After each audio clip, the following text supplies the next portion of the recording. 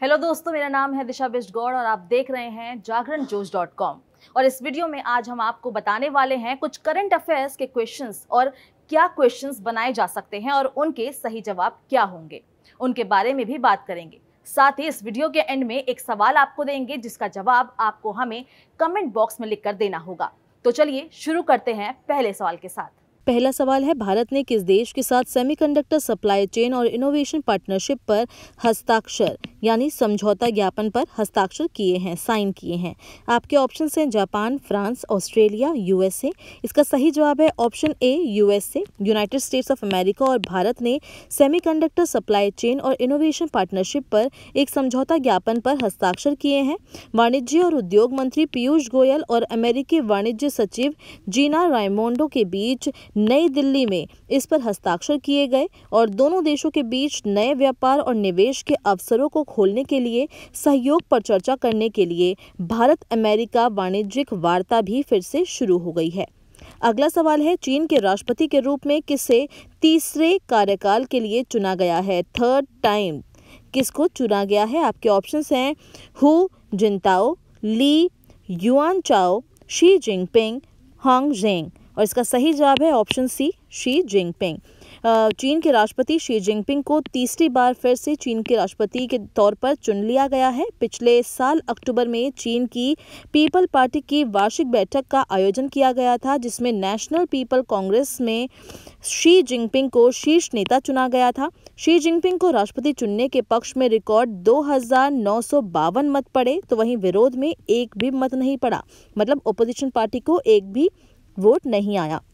2013 में People Republic of China के president Xi Jinping बने थे और इसके साथ ही उन्हें चीन के सेंट्रल मिलिट्री कमीशन का अध्यक्ष भी चुन लिया गया था। अगला सवाल है, कौन हाल ही में इंडियन एयरफोर्स की फ्रंटलाइन कॉम्बैक यूनिट की कमान संभालने वाली पहली महिला बनी है?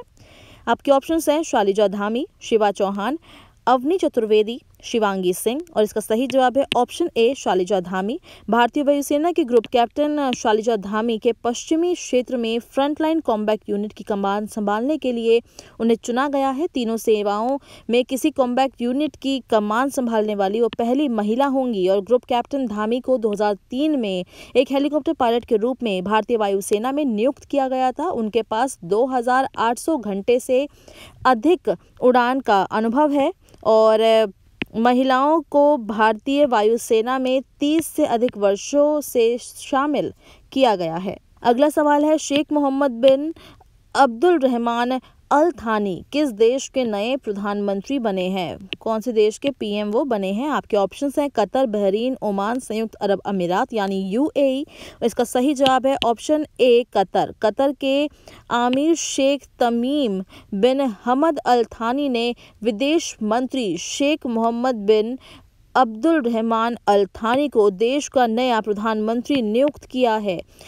शेख मोहम्मद बिन अब्दुल रहमान अल थानी ने शेख खालिद बिन खलीफा बिन अब्दुल अज़ीज़ अल थानी का स्थान लिया है। 2016 से शेख मोहम्मद विदेश मंत्री के रूप में काम कर रहे हैं। कतर एक प्रायद्वीपीय अरब देश है, इसकी राजधानी दोहा है और यहाँ की मुद्रा की बात करें तो ये कतरी रियाल है। अगला सवाल है, उन्नीसवीं बिम्स्टेक मंत्री स्तरीय बैठक की अध्यक्षता किस देश में के द्वारा की गई। आपके ऑप्शंस हैं भारत, बांग्लादेश, थाईलैंड और भूटान। इसका सही जवाब है थाईलैंड, ऑप्शन सी, विदेश राज्य मंत्री डॉक्टर राजकुमार रंजन सिंह ने बैंकॉक से वर्चुअली 19वीं बिम्स्टेक मंत्री स्तरीय बैठक में हिस्सा लिया।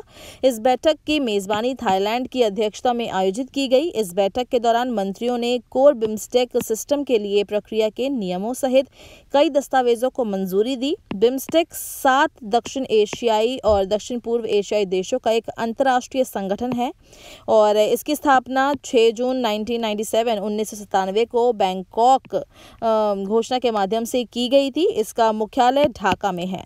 अगला सवाल है, नेपाल के तीसरे राष्ट्रपति के रूप में किसे चुना गया है? आपके ऑप्शंस हैं, शेर बहादुर देवबा सुभाष चंद्र नेम्बांग राम बरन यादव और, रामचंद्र पौडेल और इसका सही जवाब है ऑप्शन डी, रामचंद्र पौडेल। नेपाल में हुए राष्ट्रपति पद के चुनाव में रामचंद्र पोडेल ने जीत हासिल की है। उन्हें नेपाल के तीसरे राष्ट्रपति के रूप में चुना गया है। पोडेल ने इस चुनाव में अपने प्रतिद्वंदी सुभाष चंद्र नेम्बांग को हरा दिया। वो मौजूदा राष्ट्रपति विद्या देवी भंडारी का स्थान लेंगे। नेपाली राष्ट्रपति के चुनाव में पौडेल को तैंतीस वोट पड़े। वहीं उनके ऑपोजिशन में जो उनके प्रतिद्वंदी थे सुभाष चंद्र नेम्बांग को पंद्रह हज़ार पाँच सौ अट्ठारह वोट मिले। ये उन्नीस सौ निन्यानवे से 2002 तक नेपाल के गृह मंत्री और उप प्रधानमंत्री भी रहे थे। इनका जन्म 15 अक्टूबर 1944 को तनहुन, नेपाल में हुआ था। अब बात करते हैं पिछले वीडियो के सवाल की। पिछले वीडियो में आपसे सवाल पूछा गया था, मेघालय में ग्यारहवीं विधानसभा का निर्विरोध अध्यक्ष किसे चुना गया है? आपके ऑप्शंस थे थॉमस ए संगमा, कॉनराड के संगमा, अलेक्जेंडर लालूहेक प्रोस्टेन, प्रेस्टन टॉनसोंग और इसका सही जवाब है option A, Thomas A. Sangma. Meghalaya के ग्यारहवीं विधानसभा के निर्विरोध अध्यक्ष के रूप में थॉमस ए. संगमा को चुना गया है। मुख्यमंत्री कॉनराड के संगमा के नेतृत्व वाली मेघालय डेमोक्रेटिक अलायंस यानी एमडीए सरकार को 45 विधायकों का समर्थन प्राप्त है। हाल ही में मेघालय में सीएम के रूप में नेशनल पीपल पार्टी के प्रमुख कॉनराड के संगमा ने लगातार दूसरी बार शपथ ली थी।